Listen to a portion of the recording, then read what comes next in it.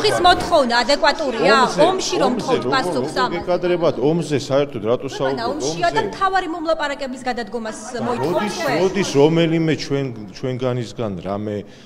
ან უომათქმულიან ომში ყოფ ქვეყანასთან მიმართებაში გუშინაც გამოქვეყდა ხო ჩვენსავით მაშინ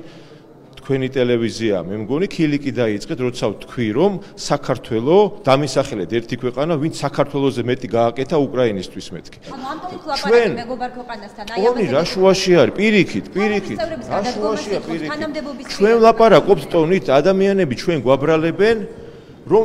ვეხმარებით იმას მონსტრს ეს ახლა ნორმალურია თქვენ თქვენ თქვენ არ გაწუხებთ ეგ საკითხს ხელისუფლებაზე დელეგაცია ჩასულიყო და ადგილზე გაერკვია ბატონო დელეგაცია ჩავა დამშვიდით ყველაფერი კარგად იქნება